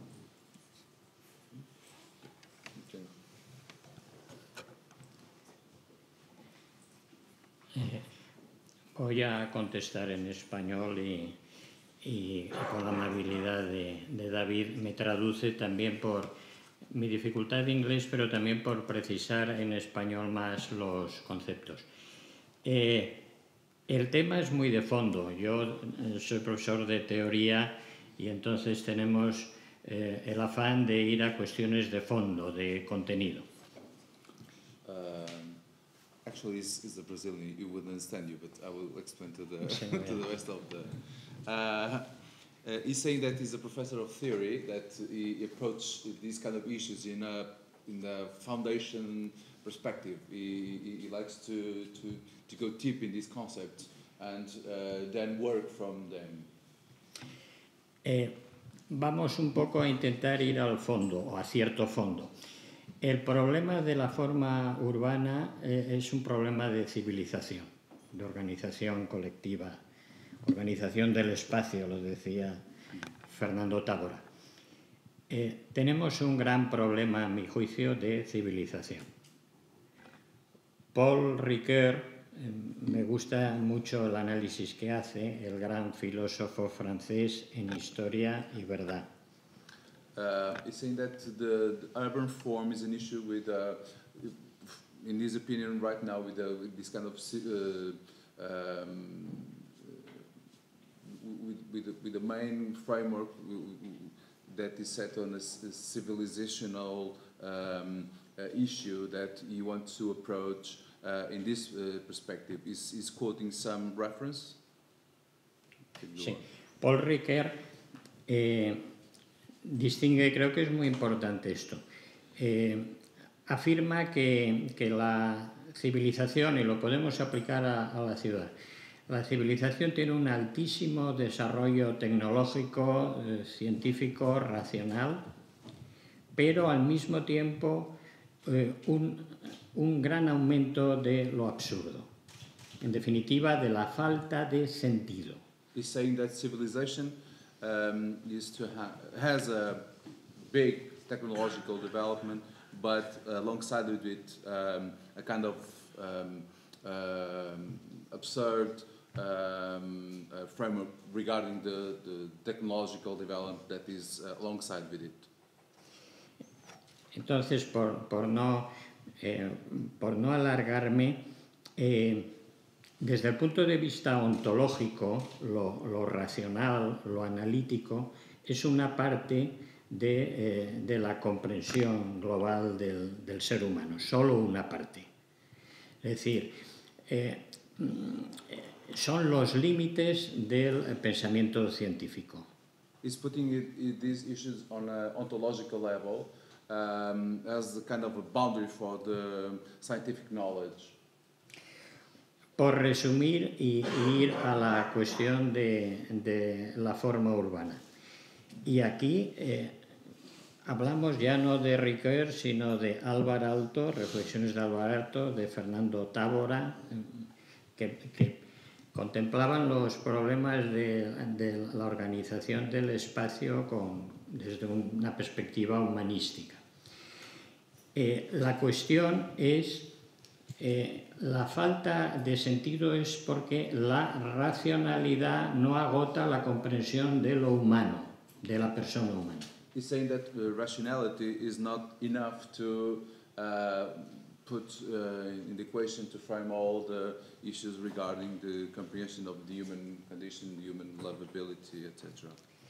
Entonces, cuando, contestando a la pregunta, cuando abordamos el tema de la forma urbana, de la forma arquitectónica, hay que comprender, desde luego, la dimensión racional, analítica, es muy válido, pero sobre todo la forma, como decía Fernando Tábora, es una cuestión de vivencia humana.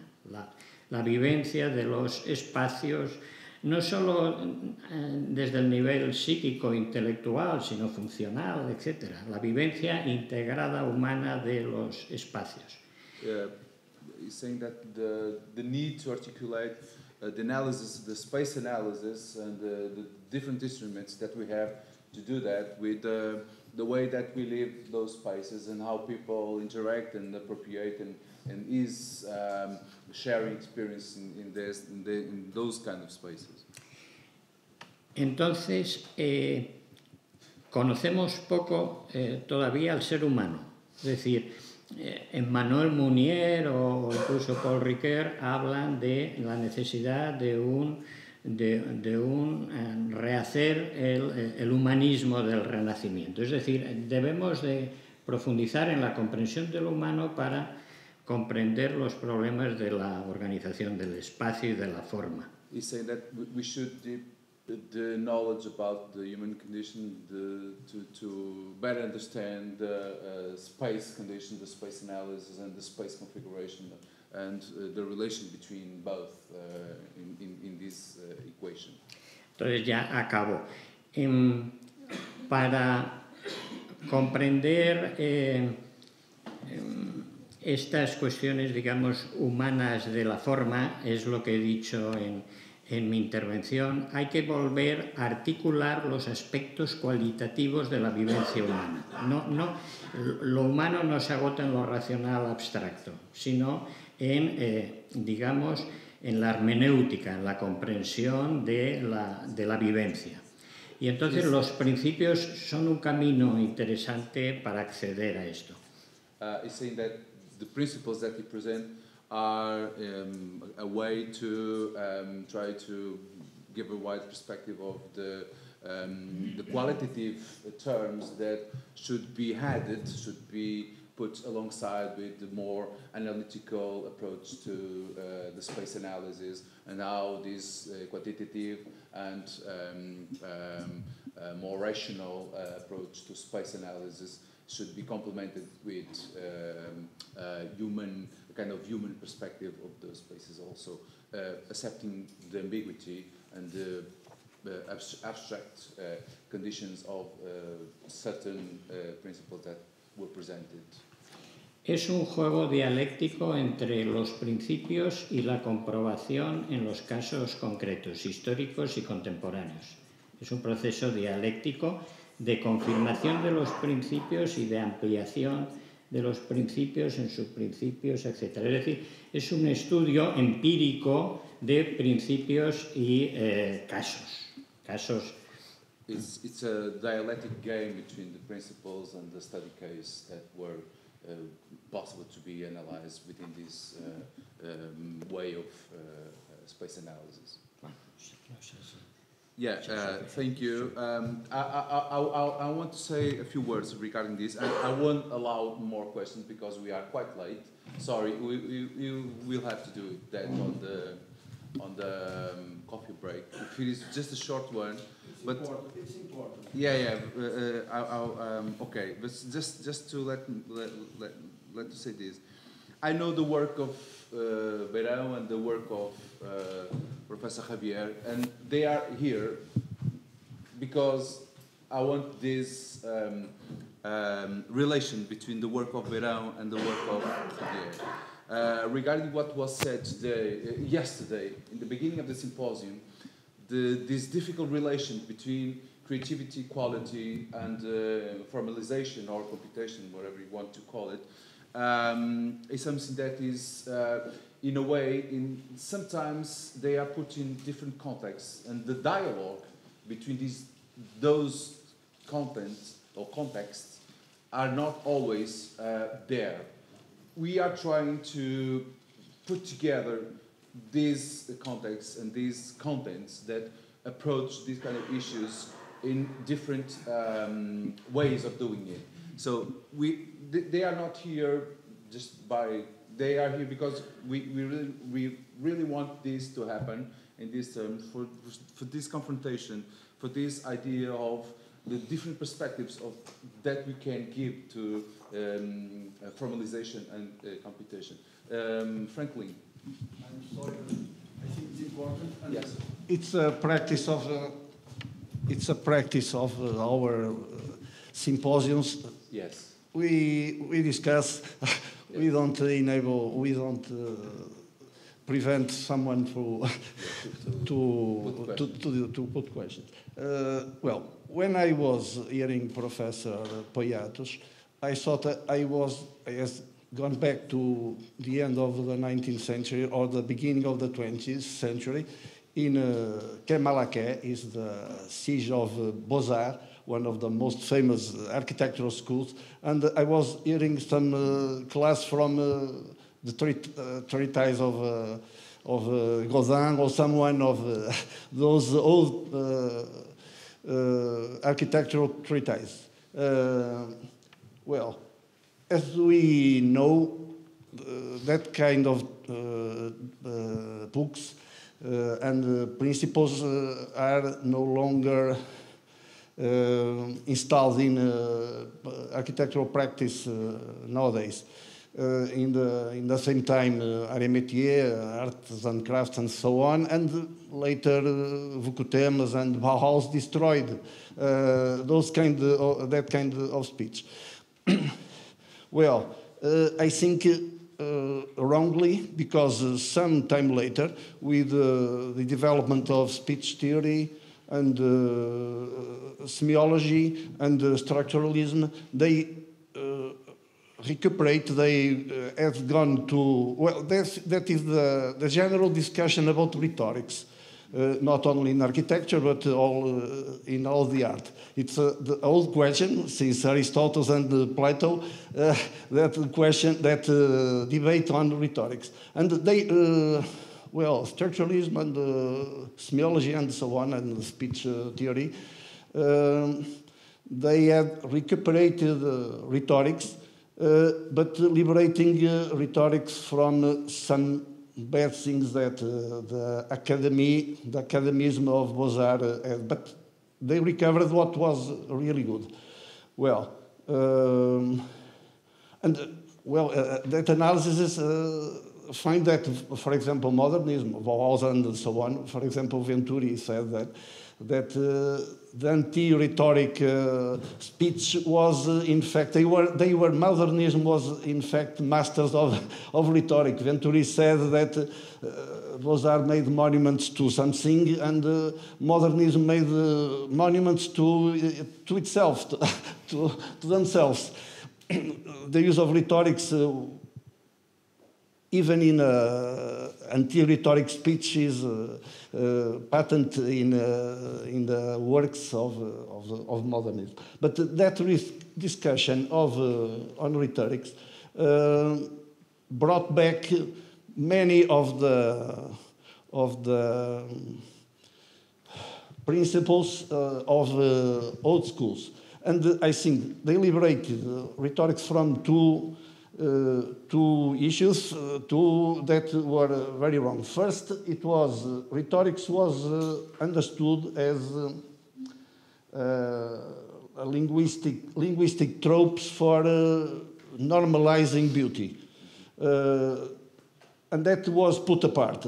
That was uh, forgotten because those uh, tropes, those uh, shape definitions were completely out of date and they could not we are not uh, constructing uh, uh, buildings with, with Greek columns. no more. Yes, but in the 19th century and even in the 20th century, in the, in the, in the first years of the 20th century, we had those kind of, of things. Uh, and the second is what uh, Luis referred is the well, linguistic approach, and it's what we are doing now. It's to trying to formalize those, uh, those concepts. We recovered the concepts, but we destroyed the norm. We don't, it, uh, it, we, don't know, we don't want norms, but we want concepts. And when I was seeing what Professor uh, was lining there, I began to think, well, I would like to formalize everything is there. It's very, very good. Those concepts are very, very good to formalize. And some of them are already formalized. For example, he talked about, uh, well, perceptual clearness. In space syntax, for example, it's completely normalized in concepts like intelligibility, entropy, or controllability. Well, and the, the, others, I was, I was looking there, I thought, yes, it's that I want to, to, to study. Uh, they were completely uh, subjective and uh, uh well, very fluid, and now we want to formalize those concepts. Maybe some of them uh, will be sent to the to the to garbage, uh, but many of them will be uh, recovered. Well, this is the. Can, the can I just confuse you very fast? uh, just uh, two sentences. Uh, first, I completely agree with the principles that uh, Javier has exposed. So, every single of them. I think they're all great. Second aspect, I think the problems we face nowadays are not exactly a clash between technology and the principles of excellence in, in, in design is actually a political problem. it's the advent of democracy over totali- totalitarianism. Uh, what was allowed people to design cities in, with all these principles was the totalitarian regimes. Nowadays, if we accept that democracy is better than any totalitarian regime, it means that we have to accept that mediocrity is part of it. It's a political problem. Well, Well, this open debate for the rest two hours. so we will have lunch at four o'clock in the. I, I'm going back to. Because I, I, I would have to say about one hour. I, I'm going back to architecture because I don't want to. In the coffee break, I will. I think it's better not to. Yes, yes. this. Okay. Second uh, question on uh, architectural problems. I think the construction of built environment is one of the major uh, human activities. For example, it deals with 60% of all the natural resources of the planet. it's one of the biggest uh, makers of uh, change in the, in the environment.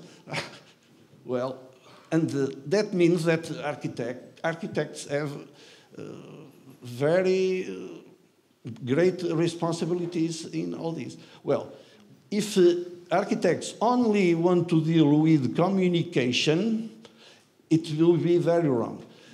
Because there are, well, in my terms, three main tiers of this participation. One is the material configuration of the world because this wall does not communicate me that I cannot go to there. It physically makes that I have to go to the door to pass to the other way. And this is a very uh, simple way to the, because uh, this material configuration is uh, not uh, not in those uh, little examples. It's generally configurates cities, configurates the human activities, so configurates uh, society. It's very big, and I think, well, as uh, uh, uh, just demonstrated, a very, very uh, large uh, uh, field of operation for architects. Well, first. Second is construction, because construction is how we do, and the movement is important, not, on, not only the goal, but how we reach there. The built environment is constructed, and this movement to construct is very important to, to, uh, to all human activities. And third, communication. And I said it in what I think it's the degree of importance of them. If uh, architects, and there is a great movement that says the architect is art, is uh, communication, but it is not. If the architect abandons uh, material configuration to society or to market, it's uh, the, the word that, uh, well, uh, now have society to market. Uh, the second is abandoned construction, abandoned to engineers, and uh, uh, architects remain with communication would be very, very, very wrong, I, I would say. Uh, okay, third is a question of rationality. I think we all agree that uh, human, act, human behavior is not rational, completely rational. It's one part of uh, human uh, behavior. But there is a science, a whole science that uh, is trying to understand rationality, how the humans behave, and rationality is psychology. what I mean that if we have a, a human behavior not rational, that does not mean that it is not rational, rationalizable. You can understand the not rational understanding, uh, the not rational behavior with a rational understanding. It's science. There is no opposition. Human behavior is rational and not rational. Understanding of human behavior is rational. And that means that we don't have in concrete and uh, going to the, to the beginning, is we don't need to give uh, to give rational uh, norms to beauty. We have to understand the cities, how they develop, uh, and not to say that uh, size or scale is good or bad. I, uh, and to finish, uh, Greek is human scale. Egyptian pyramids are, well, uh, very bad uh, scale, not human. Well, that is completely wrong. They, we have to understand how, be, why Egyptian civilization need pyramids and why Greek civilization need human, uh, human scale. And uh, there is no good or evil there. and I said, okay, so you. Uh, we go to coffee break now. Thank you for uh, being here. Thank you both. Uh, this was a, a, wonderful discussion. We had a lot of to discuss here, but, but we have a schedule to try to keep because we are really out of schedule.